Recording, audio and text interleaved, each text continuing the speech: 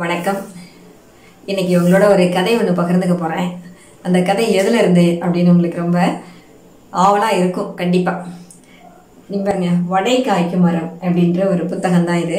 இந்த புத்தகத்தை எழுதினவர் வந்து கீர்த்தி அப்படிங்கிற ஆசிரியர். இவர் தான் அந்த கதையை எழுதியிருக்காரு. இந்த புத்தகத்தை நான் வாங்கும் பொழுதே இந்த புத்தகம் நல்லா இருக்குங்க அப்படின்னு சொல்லி தான் கொடுத்தாங்க படிக்கிறதுக்கு எனக்கு நேரம் கிடைக்கல. இன்னைக்கு தான் வந்து உடனே இதை வந்து பிரித்து பார்த்துட்டு இருந்தேன். சரி ஏதாவது படிக்கலாமே.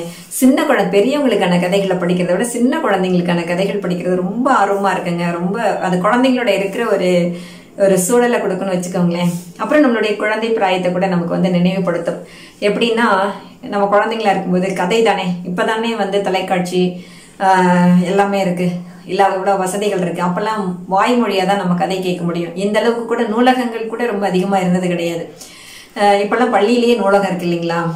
அதனால எப்- அது மாதிரி இந்த புத்தகம் வந்து ரொம்ப அருமையாக இருந்ததுன்னு வச்சுக்கோங்களேன். இப்போ அந்த கதையை நான் உங்கள்கிட்ட பகிர்ந்துக்கிறேன். அதாவது அஞ்சுகம்னு ஒரு கிளி இருக்கும். அந்த கிளி வந்து ஒரு சிற்றூரில் பக்கத்தில் இருக்கக்கூடிய பனங்காட்டில் வசிச்சுட்டு இருக்கும் அந்த மர அந்த பனங்காட்டில் இருக்கக்கூடிய அந்த மரத்தில் தங்கி வசிச்சுட்டு இருக்கும் அது ஒரு நாள் என்ன செய்யும் அப்படின்னா அப்படியே ஊருக்குள்ளே பறந்து வரும். அப்போ ஒரு வேப்ப மரத்தடியில் வேப்ப மரத்துமே க- அந்த மரத்தை கடந்து போகும்பொழுது அது ஒரு காட்சியை பார்க்கும்.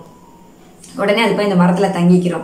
தங்கிக்கிட்டு கீழே பார்க்கும் அப்போ ஒரு மனிதன் என்ன செய்வார் அப்படின்னா கீழே விரிச்சு போட்டு துண்டு விரிச்சு போட்டு அதுல வந்து ஒரு கூண்டு ஒன்று வச்சிருப்பாரு. அவரை நோக்கி ஒரு மனிதர் வந்து வருவார். வந்த உடனே இது இவர் என்ன செய்வார் அப்படின்னா இவர் வந்து ஜோசியம் பார்க்குறவர்னே நம்ம சொல்லலாம். அப்போ அந்த கிளியை வந்து என்ன செய்வார் அப்படின்னா கூண்டுக்குள்ள திறந்து விட்டு அந்த கிளிக்கு ஒரு பேர் வச்சிருப்பாரு. ராஜா வா வந்து ஒரு சீட் எடுத்து கொடுத்துட்டு போ அப்படின்னு சொல்லி அந்த கிளிக்கு சொன்ன உடனே அந்த கிளி வந்து என்ன செய்யும் அப்படின்னா வெளியில வந்து ஒவ்வொரு சீட்டாக எடுத்து போட்டுட்டு கடைசியில் ஒரு சீட் எடுத்து கொடுத்துட்டு திரும்பி போய் அந்த கூண்டுக்குள்ளே போயிடும் இவர் உடனே அந்த கூண்டை அடைச்சி வச்சிருவாரு. அப்புறம் அந்த சீட்டை எடுத்து படிச்சு பார்த்து அந்த வந்திருக்கக்கூடிய மனிதருக்கு என்ன செய்வார் அப்படின்னா சில கருத்துக்களை எல்லாம் சொல்லுவார். இதே மாதிரி தொடர்ந்து அவரை வந்து மனிதர்கள் வந்து தேடி வந்துட்டே இருப்பாங்க. இவர் அந்த கிளி வந்து சீட் எடுத்து கொடுக்கும். அப்போ அஞ்சுகம் பார்க்கும்பொழுது அஞ்சுகத்துக்கு வந்து வருத்தமா இருக்கும். என்னடா இவ்வளவு சுதந்திரமாக திரைய தெரிய வேண்டிய பறவையை அப்படி கூண்டில் அடைச்சி வச்சிருக்கிறாரு இந்த மனுஷன்? எப்படியாவது இந்த கிளியை ராஜா கிளியை காப்பாத்தினா பரவாயில்லையே அப்படின்னு சொல்லி ராஜான்னு பேர் வச்சுக்கிட்டு இப்படி அடிமை மாதிரி வாழ்க்கை நடத்தி நடத்த வேண்டிய சூழ்நிலையில அந்த கிளி இருக்கே அப்படின்னு சொல்லி அந்த அஞ்சுகம் நினைச்சுக்கும். அதுக்கப்புறம் வந்து அந்த கிளி நினைச்ச மாதிரியே அவர் வந்து மத்தியானம் சாப்பிட்டுட்டு படுத்து தூங்கிடுவார். நல்லா அசந்து தூங்கிடுவார். அப்போ அந்த அஞ்சுகம் கிளி கீழே வரும். கீழே வந்து ராஜா கிளி கிட்ட போய் நீ வந்து வெளியில் வந்துரு தப்பிச்சு போயிரு நீ இப்படி ஒரு அடிமையாக இருக்கக்கூடாது அப்படின்னு சொல்லி சொல்லும் பொழுது இல்லை என்னால் பறக்க முடியாது. என்னுடைய வாலை வந்து வெட்டி வச்சுருக்காங்க. அந்த வால் வளர வளர அவங்க வெட்டிடுவாங்க அதனால் என்னால் பறக்க முடியாது அப்படின்னு சொல்லி அது சொல்லும். அதோட நான் வெளியில் வந்துட்டேன்னா நான் வந்து இவரை விட்டுட்டு போயிட்டேன்னா இவர் வாழ்க்கை நடத்துறதுக்கு ரொம்ப கஷ்டப்படுவார்ல.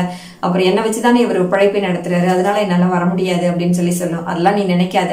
நீ கண்டிப்பாக வந்துரு. அதுக்கப்புறம் என்ன மாற்றம் நிகழுதுன்னு மட்டும் நம்ம நீ வந்து பாரு. நம்ம உனக்கு காண்பிக்கிறேன் அப்படின்னு சொல்லி அஞ்சுகம் சொல்லும். நீ என்ன பண்ணு? அப்படியே மெல்ல தத்தி தத்தி இந்த மரத்து மேல ஏறி எப்படியாவது மேல உச்சிக்கு வந்துரு. அதுக்கப்புறம் மட்டும் நீ நடக்கிறத பாரு அப்படின்னு சொல்லி அஞ்சுகம் சொல்ல அதே மாதிரியே இந்த கிளி வந்து ராஜா கிளி வந்து என்ன செய்யணும்? தத்தி தத்தி மரத்துக்கு மேலே போயிடும் இலைகளுக்கு மத்தியில மற்றவங்க பார்க்க முடியாத வண்ணம் போய் அது வந்து அந்த மறைஞ்சு இருந்துக்கும். அப்புறம் இவர் தூக்கம் கலைஞ்சு எந்திரிப்பார். அந்த ஜோசியம் பார்க்குறவர் வந்து கிளியை வச்சு பார்க்குறவர் வந்து எந்திரிப்பார். எந்திரிச்சா அவருக்கு வந்து தூக்கம் கலைஞ்சு பார்த்தோன்னா கூண்டு திறந்து கிடக்கும். கிளி கிளி இருக்காது. அந்த நேரம் பார்த்து இந்த அஞ்சுகம் கிளி என்ன தெரியுங்களா செய்யும்? கீ கீன்னு கத்திட்டு அந்த மரத்தை விட்டு பறந்து போகும். இவர் என்ன நினைச்சுக்குவாரு அப்படின்னா அந்த ராஜா கிளி தான் பறந்து போகுது. அப்போ அந்த கிளி இனிமேல் நமக்கு திரும்பி வராது. அவ்வளோதான் அப்படின்னு சொல்லி இவர் முடிவு பண்ணிப்பார். அதுக்கப்புறம் இவர் என்ன செய்வார் அப்படின்னா இவர் அந்த இடத்த விட்டு கூண்டையும் தூக்கிட்டு போயிடுவாரு. அப்புறம் இந்த அஞ்சுகம் கிளி என்ன செய்யும் அப்படின்னா அந்த ராஜா கிளி மரத்துல இருக்கு இல்லையா அதனால பறக்க முடியாது. அதுக்கு வந்து உணவு வேணும். அதனால இது என்ன செய்யும்? பழங்கள் கொட்டைகள் இதெல்லாம் வந்து தேடி கொண்டுட்டு வந்து அந்த கிளிக்கு கொடுக்கும். அது நல்லா அதை சாப்பிட்டுட்டு அதுக்கப்புறம் வந்து அதுக்கு வால் முளைச்சிரும் ரெக்கையெல்லாம் நல்லபடியாக பழைய நிலைமைக்கு வந்துடும் அப்புறம் அது பறந்து தெரிய ஆரம்பிச்சிடும் அஞ்சுகம் கிளி கூட பறந்து போயிடும் அப்போ என்னதான் அது போய் அந்த காட்டில் அவ்வளோ மகிழ்ச்சியாக இருந்தாலுமே இதோட மனசில் ஒரு வருத்தம் இருக்கும். இப்படி வந்து நம்மளோட எஜமானர் வந்து விட்டுட்டு வந்துட்டுமே அவர் வந்து வாழ்க்கையில் துன்பப்படுவார் அப்படின்னு சொல்லி அதை நினச்சிட்டு இருக்கா அஞ்சுகத்துக்கு ஒரு எண்ணம் வந்துடும் எப்படியாவது இதை சரி பண்ணணும். இந்த எண்ணத்தை அது மனசுல இருந்து நீக்கணும் அப்படின்னு சொல்லிட்டு அஞ்சுகம் கிளி என்ன செய்யணும் ஒரு நாள் ராஜா கிளியை கூட்டிட்டு நீ வா நம்ம அந்த பழைய இடத்துக்கே போவோம். அங்க போய் என்னோட எஜமானரை பார்த்துட்டு வருவோம் வா அப்படின்னு சொல்லி அதே மாதிரி வந்து அதே வேப்ப மரத்துக்கு மேல வந்து உட்காந்துக்கும். அந்த மனிதர் என்ன பண்ணுவார் அப்படின்னா கீழே வேப்ப மரத்துக்கு அடியில துணியை விரிச்சு போட்டு காய்கறிகள் வியாபாரம் பண்ண ஆரம்பிச்சிருவார். அப்ப அந்த கிளி வந்து பார்க்கும். ராஜா வந்து பார்க்கும். கீழே வந்து அவர் வந்து காய்கறி வியாபாரம் பண்ணிட்டு இருக்காரு. அப்பதான் அந்த அஞ்சுகம் சொல்ல இங்க பேரு அது அவர் வந்து நீ இல்லாததுனால அவர் வந்து துன்பப்படல. அவர் வந்து தன்னுடைய வாழ்க்கை முறையை மாத்திக்கிட்டாரு உழைக்க கத்துக்கிட்டாரு. இனிமேல் உழைக்க ஆரம்பிச்சிட்டாலே ஒரு மனிதன் வந்து வாழ்க்கையில கண்டிப்பா அவன வாழ்க்கையில ரொம்ப முன்னேற்றம் இருக்கும். தன்னுடைய முன்னேற்றத்துக்காக யாரையும் நம்பி இருக்கணும்னு கட்டாயமே கிடையாது. அதனால நிச்சயமா அவர் வந்து இந்த வாழ்க்கையில நல்லா மகிழ்ச்சியா இருப்பாரு அப்படின்னு சொல்லி அந்த அஞ்சுகம் செல்லும். அதை வந்து இந்த ராஜா கிளி புரிஞ்சுக்கும். அந்த உண்மையை புரிஞ்சிட்டதுக்கு அப்புறம் மகிழ்ச்சியோட அந்த அஞ்சுகம் கிளி கூட காட்டுக்கு பறந்து போய் தன்னுடைய மகிழ்ச்சியான வாழ்க்கையை மறுபடியும் தொடர ஆரம்பிச்சிடும் ராஜா கிளி. அருமையா இருக்குல்ல கதை.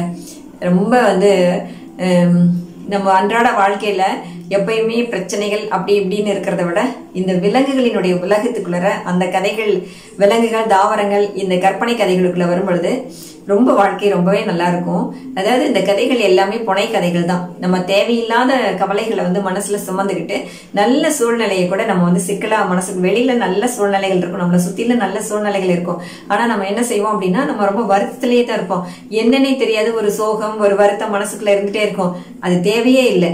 இந்த கிளி மாதிரி நாமளும் வந்து வாழ்க்கையில் எல்லாத்தையும் தூக்கி எறிஞ்சிட்டு அதை வந்து நேர்மறையா சிந்திச்சு எல்லாமே நன்மைக்கு தான் அப்படின்னு நம்ம நினைக்கும் பொழுது நம்மளுடைய வாழ்க்கையுமே சந்தோஷமா இருக்கும் மகிழ்ச்சியா இருக்கும்.